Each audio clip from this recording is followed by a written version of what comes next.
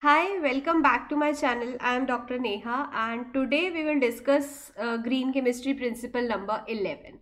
So up till now we have seen 10 principles of green chemistry and uh, today we will discuss 11 and the next video I'll post uh, to discuss green chemistry principle number 12. So let us go ahead with what is 11 uh, principle all about.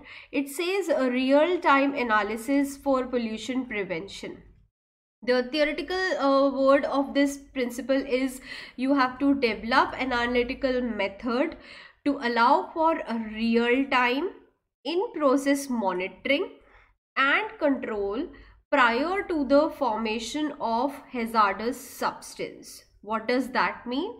They say that uh, in order to check the process that the process is working fine or not whether you are making the right product with the right quality. Is there any hazardous substance which is also uh, produced as a waste in the process?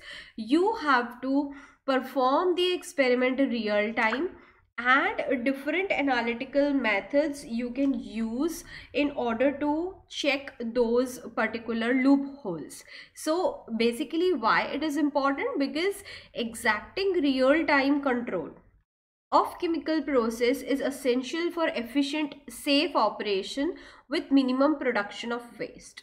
Means you have to do a rehearsal kind of thing wherein in the process when you are doing that you can control different parameters you can change them for the improved version and overall your process then will become efficient and safe and there'll be less waste let me tell you with the help of an example.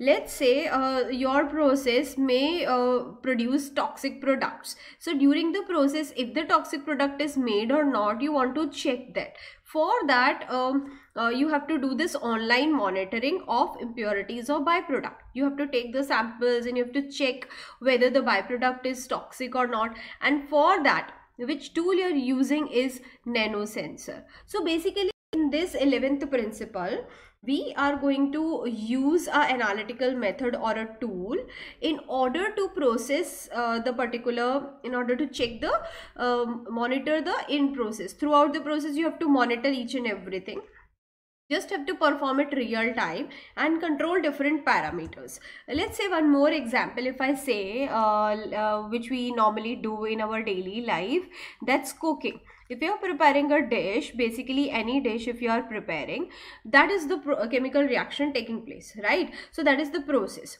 Now you have to in process monitor it with the help of some tool right? So how are you going to process uh, monitor the process obviously in between we have different checks right? Sometimes uh, we uh, check for the taste. We take out some sample of the uh, food and then we check the taste. If the taste is not according to it we can add different supplements like salts and spices and all.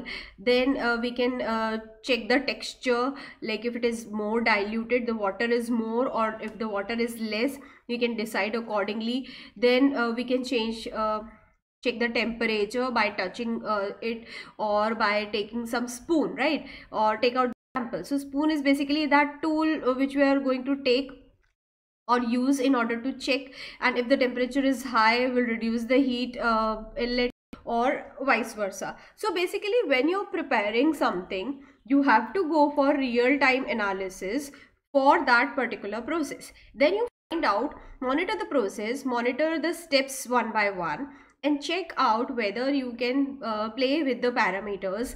Let's say if you want to check the temperature uh, you can use the inbuilt thermometer in the reaction. If you want to check the ph uh, you can either use a ph paper or a ph meter.